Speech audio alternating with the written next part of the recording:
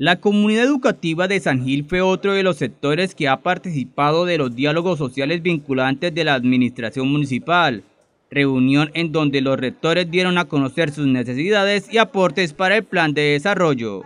Personalmente, a nivel de institución mm, de formación básica y media, eh, hay 16 apuestas que tiene el señor alcalde.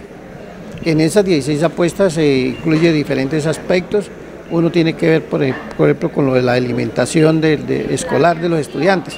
Ahí se hace la propuesta para que sería muy importante que a nivel de, San Gil, en todas las instituciones públicas que se atiende el PAE, se pudiera eh, llevar a cabo la promesa del presidente de la República, que fue que los estudiantes tuvieran comida caliente, preparada en sitio. Entonces, realmente eso es una propuesta que se le hace al señor alcalde para que eh, entre sus 16 metas que tiene, pues sería muy, muy importante que esta se hiciera realidad. La necesidad de capacitar a los docentes fue otro de los aportes que dieron a conocer los rectores en esta reunión. Nosotros pasamos una carta donde puntualizamos nuestras necesidades, pero aparte de eso también tuvimos la oportunidad de expresar nuestra opinión en relación con la necesidad de tener muy en cuenta el principal protagonista en el mejoramiento de la calidad de la educación, que es el docente.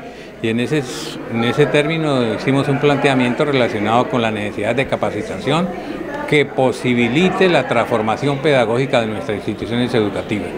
Y naturalmente nos unimos al deseo de las voces que expresaron eh, la necesidad de focalizar dentro del plan de desarrollo aspectos tales como lo relacionado con los comedores escolares, en la perspectiva de que cada institución educativa tenga, ah,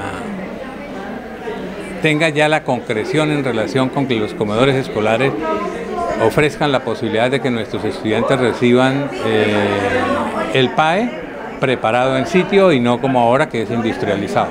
Por su parte, la rectora del colegio Luis Camacho Rueda dio su aporte enfocado en la importancia de la educación ciudadana. Como conocemos, eh, el presupuesto en educación casi la mayoría se lo está llevando el transporte escolar, que sí es una estrategia de, para poder dar cobertura. Hay que revisar el tema porque hay algunas finalidades que no están, eh, hay que revisarlo.